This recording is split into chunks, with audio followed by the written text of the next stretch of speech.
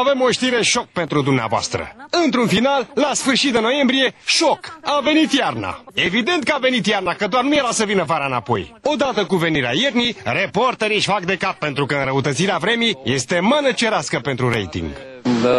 Cei de la Agenția Națională de Meteorologie spun că această ninsoare ar putea fi, s-ar putea transforma în, în ninsori. Normal că ninsoarea se poate transforma în ninsoare, dar noi credem că și ploaia poate să facă același lucru. Cât privește ninsoarea, ea a nins toată iarna. Bun găsit, se circulă și aici în condiții de iarnă, încă ninge, a nins toată iarna. Poate a nins toată iarna în emisfera sudică, pentru că la data producerii relatării, în România, iarna nici nu începuse. Avem însă meteorologi de soi și la turcaleți. Vremea va fi ciudată, ne va, ne va, va fi niște, va, va aduce niște surprize incredibile. Vremea va fi ciudată, dar cel mai ciudat meteorolog este Busu de la Pro. El face praf de câte ori poate limba română. Cunoscând România, respectă valorile românești mai mult decât le respectăm noi înșiși. Da. Înșine. Da. Am zis că mă corectați, dar nu vreți să mă corectați. N-am auzit ce ai Nu spus, ne dar permitem. sau vorbești foarte... Și ce am zis. Cum se spune noi înși vă. Da, ai văzut. Deci, Asta Noi e- însă le auzi. da, noi însele. Ei, uite că Dedu nu te corectează, mai Busu. Că nici el nu prea le are cu pronumele de întărire. În schimb, invers se întâmplă. Un american a făcut o descoperire ciudată. Un cerc de gheață cu diametrul de 15 cm care se rotea pe apă. Dar frumos. Dar, uh, un imagini fenomen, uh, inedite. Ce metri, nu centimetri. Metri. Ce, ce anume? 15 metri. Metri. Da. Mi s-a părut că ai zis, ai zis centimetri. Nu știu, să dăm înapoi. Nu contează. Uh, Centimetri am zis? Îmi cer scuze. nu are important. Dă Centimetri. Metri, metri. Și ca să încheiem cu Busu, vă spunem că el face inversiune de toată frumusețea. Toată lumea râde de mine și de-aia face camera așa și imaginile sunt tremurate. Da, nu da. eu tremur, să știți. Nu, corect. Nu eu tremur, nu. Da. E, băieții sunt uh, Ia zi, Florin, pafilie la... pământul la nervi. Nu, no, băieții nu sunt cu nervii la pământ, ci ei sunt cu pământul la nervi. Auzind așa o exprimare, râzăreața Melania Medeleanu nu se poate abține, frate. Doamnelor și domnilor, focul se încheie aici. Urme- Hmm. Urmează informațiile din sport și datele meteo. Sunt Melania Medeleanu, vă mulțumesc pentru atenție. Ne revedem în Focus mâine de la ora 18. Un weekend fără cusur. Prezent la emisiunea după 20 de ani, ministrul marilor proiecte, baronul de Münchhausen-Șova, a spus că a eradicat stâlpul din mijlocul centurii Craiova. Dar stâlpul nu mai există acum, s-a terminat. Nu, da, e bine să știe lumea că nu, se circulă cu stâlpul în mijloc. Când a apărut știrea pe presă și aveam uh, șeful regionale de la Craiova, pe domnul Lumezeanu, și domnule, cum e cu stâlpul? Și mi-a zis, domnul ministru, nici nu e șantier, în primul rând, că nu e drum deschis lucrului și trebuie să vină Transelectrica să-și mute stâlpul. Și era programat, deci în programul de lucrări era la două săptămâni după ce ați dat dumneavoastră știrea când l-au și mutat. Din păcate pentru el, colegii de la PRO sunt profesioniști și au verificat spusele gargaragiului șef. Și ce să vezi, stâlpul e tot acolo. Ba, e tot acolo. Îl contrazic pe ministrul proiectelor de infrastructură aceste imagini, filmate astăzi de o echipă ProTV. Stâlpul este nemișcat din mijlocul șoselei care leagă Craiova de Caracal. Să facă stegerator. Să oculească stâlpul mașinile. Da? De, Asta e soluție oltenească pentru stâlpul. păi, da, de ce e pus acolo? De ce l-a pus acolo? E, dacă luați dumneavoastră, ne dați nouă și facem cinste. Nu-și dă nimeni interesul, așa că uh, toată lumea e pusă pe minciuni. Câinii latră, lupul merge. Asta e în România. Cazuri foarte rare în România. Dar problema s-a rezolvat imediat. nu e așa, domnul Dorel? Uh, ați rezolvat? A, da, să trăiți, îmi cer scuze, dar să știți că e ruscat aici. Dorele, întrebam, nu de asta dacă s-a rezolvat, întrebam de stâlpul din mijlocul drumului. Ai rezolvat problema? Da, da, să trăiți. Deci, Ne-a sunat domnul Șova asta, că e un stâlp pe centura Craiovei și eu, pe cuvântul meu, domnule, bre, eu am crezut că e colegul la matale la Kiss FM la Gaiță, că face mișto, că e ministru și l-am înjurat. Și nu s-a supărat? nu, că avocații sunt obișnuiți să fie băgați în procese. Dorele, scoate mâna aia odată. Și ai mutat stâlpul? Nu! Nu? Nu! Ba da, că am văzut la televizor. Ba nu, băi, că n-ai văzut bine și mai ai și patru ochiuri. Bă, Dorel, băi, de, deci, băi, Dorel, Da. ai mutat stâlpul sau nu? Nu, bre, nu, că nu ieșea din asfalt, deci așa că am mutat strada pentru pe stâlp, înțelegi, ca să fie treaba Mulțumesc, liniștită. Dorele, să știți că în România se poate... O, scot odată mâna aia, că urmează cronicuța culturală. Ia-i uscat. Toate televiziunile s-au strofocat ca de 1 decembrie să serveze ziua României. Același lucru l-a încercat și Antena 1, pentru care culorile steagului sunt precum i-a învățat varanul comunist. Roșu, galben și albastru. Norocul cerebel care spune ce scrie în Constituție. Și noi am trăit într-o oare cum minciună, pentru că dacă întrebi un român pe stradă, mai ales pe cei tineri, uh, care sunt culorile drapelului, o să spună roșu, galben și albastru. Că de fapt este albastru, galben, roșu. Așa am fost păcăliți și noi, dar în nostru, da, este albastru, galben, roșu. Dacă vorbim de România, păi să trecem la un scandal. Mare iubitor de tricolor, tribunul este dat în judecată de Victor Pițurcă, cel care ar vrea drept de spăgubire doar un milion de euro, care așa o jenă la Vica.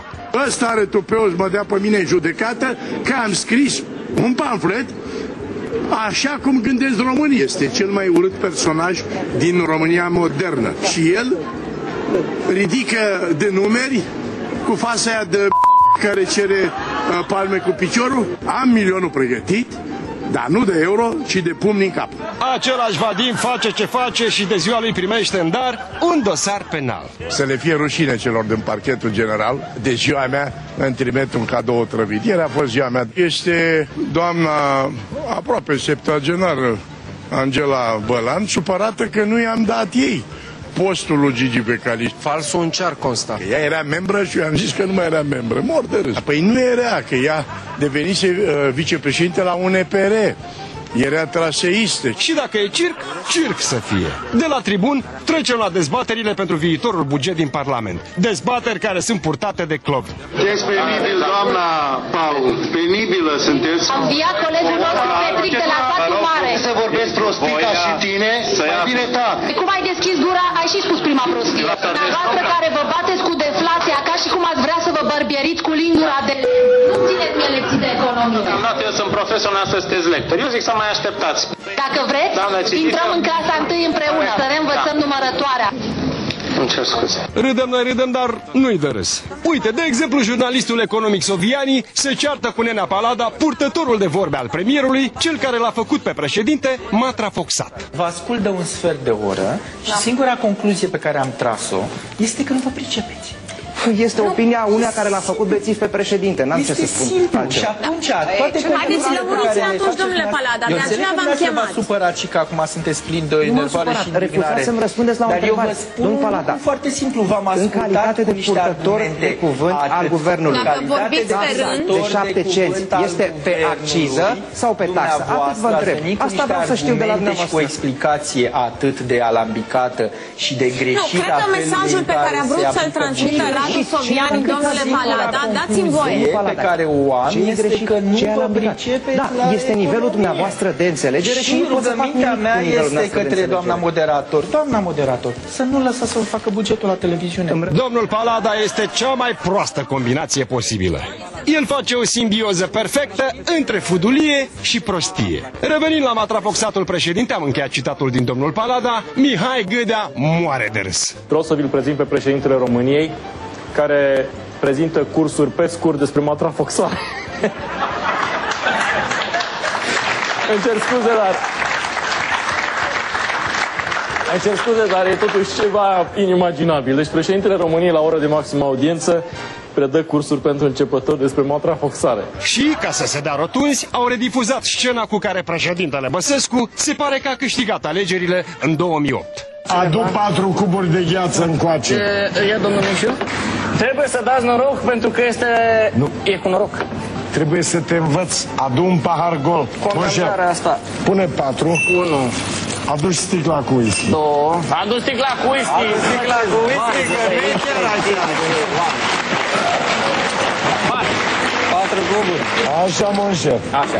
Vino E de- încoace. E de ploșniță. Și-o Vino fac. încoace. Nu, nu știu cum. Monșer, pune cu grijă. Cu grijă. Ca să nu te îmbeți, pui până când plutește gheața. Atât. Gata, a intrat. No. Mai ia înapoi că a intrat în plutire prea mult.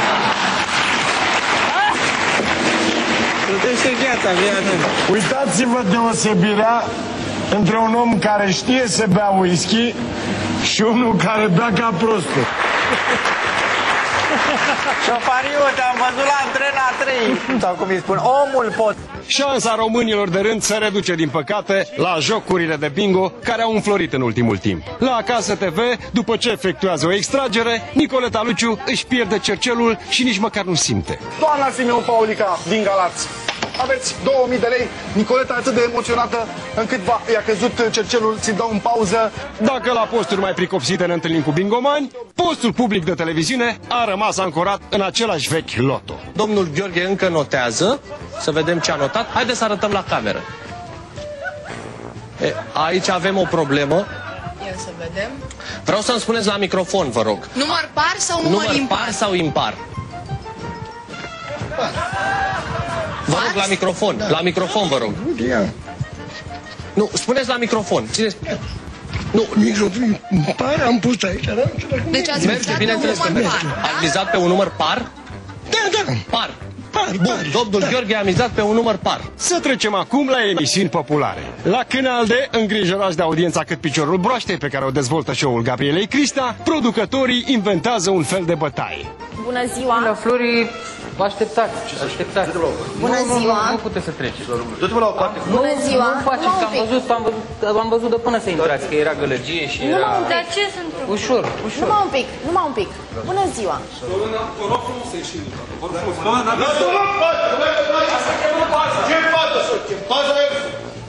O să vă rog frumos, fără agresiune. Ușor, ușor, ușor. Suntem într-un show de televiziune și la noi se uită și copiii în momentul ăsta. Ce e mai grav este că după această făcătură, Gabi Cristea ne mai și insultă inteligența, cerându scuze pentru cele întâmplate. Hai ne lași. Îmi pare rău pentru ce s-a întâmplat înainte de pauza de publicitate. Este, sperăm noi, un incident izolat. Uh, Din păcate însă lucrurile, nu știu cum, mă rog, am ajuns la o situație destul de neplăcută. Uh, Am fost nevoiți pe pauza de publicitate să chemăm uh, paza. Rămânem la emisiuni poporale și o ascultăm pe Tanti Băureanu, cum o doare burta și se ține de șold. Hai, da, că mă, mă iau o durere de stomac, ceva de groază. Fiți atenți, hai când ne apucăm de discuțiile acestea și vedem noi ce spune lumea de afară, dar după publicitate. După o scurtă pauză așadar, că după ce a văzut ce are în emisiune a apucat-o pântecăraia, pe Tanti Băureanu a apucat-o și diarea intelectuală. Vreau să-i mulțumesc și eu Irinei uh, din Japonia. E o veche susținătoare de-a noastră pentru cuvintele frumoase și pentru bețișoarele cu care să învăț și o să mănânc, uh, cum ar veni, chinezește. Uh, Mulțumesc foarte mult, sunt minunate. Mulțumesc. Bine, dacă e din Japonia, mănânc japoneză, dar...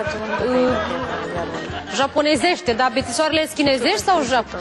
Ai, mă rog, stilul e tot ăla, trebuie să învăț să mănânc. Asiatice, bravo. asta. După atâta chinezărie, premierul Ponta are probleme cu cuvintele românești. Pentru interoperabili- interoperabilitate am vorbit prea mult chineză în ultimele zile și e, trebuie să revin la e, Rămânem la chinezi, că ce au fost subiectul de bază săptămâna trecută și găsim la Măruț în emisiune primul chinez roșcat. Sunteți chinez? Ah, da. Chinez? Da, da. E primul chinez roșcat pe care am, uh, l-am văzut în viața mea. Cum vă cheamă? Cuvat. Cuvat. Și mama româncă sau tata român? Mama. Mama româncă, Da. tata chinez? Da. Și? Tot Măruț îi învață pe chinezi că înainte de a dărui 10 miliarde de euro, trebuie să danseze dansul pinguinului. Pinguin danță, oanza, muzica 0, 0, 0.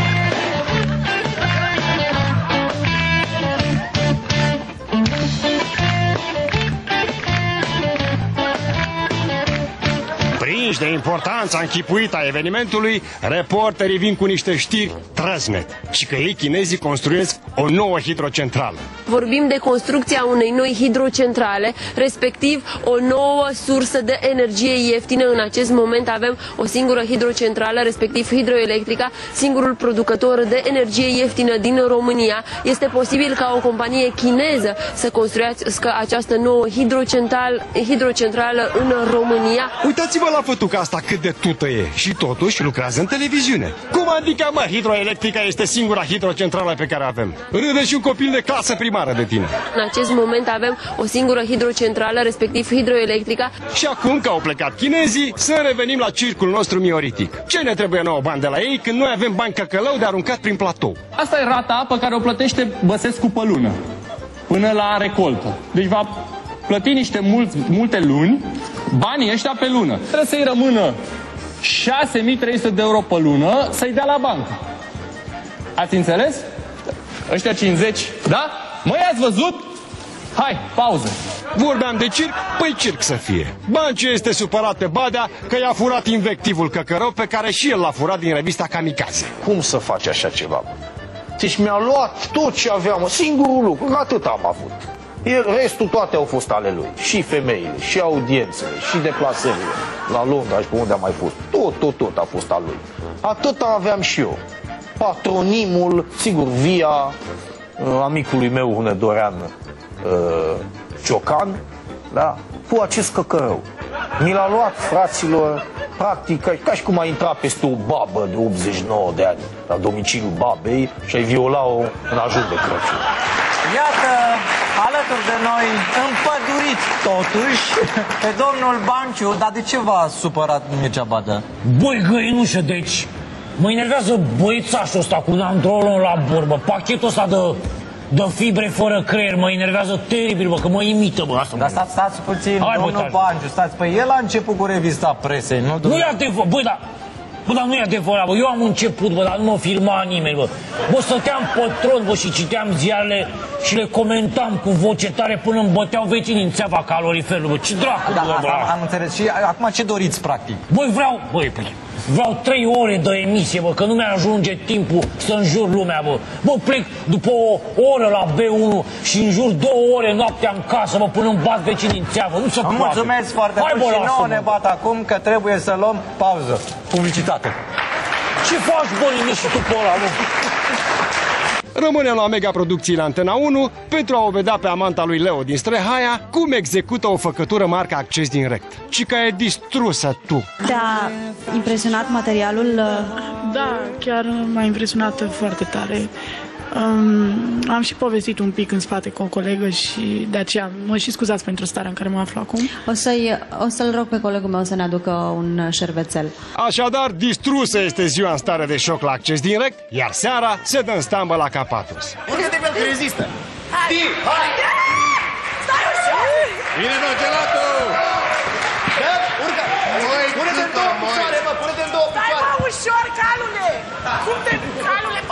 Calule, bălan! Ce am aflat? Că astăzi ai apelat la Da, fierarul, da, da. la, fiera, la fierarul Astăzi- regatului. astăzi m-am Să-ți bage găurit. niște fiare. Te- Ce ai făcut? M-am găurit! Da!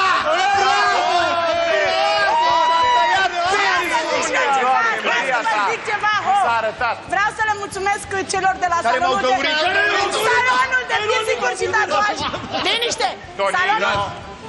Văzând aceste imagini dezgustătoare, până și curentul are mândria lui și pică, acoperind de întuneric emisiunea Un show căcăcios. Dar să știți că penibilul este prezent și în alte emisiuni. Uite, de exemplu, unul de la știri cântă la o dată în viață.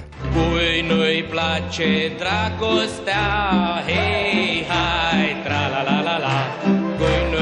place dragostea, hei, hai, tra la la la la. Aceste note muzicale ne doare. Cum ne doare și prestația lui Cătălin Botezatul la Miss Fata de la țară. Nu cântă frumos, dar e jalnic tare. Câteodată mai plâng, câteodată mai râd Câteodată constat că banii nu mi-ajung Dar viața merge înainte, viața se simte Noi o trăim dincolo de cuvinte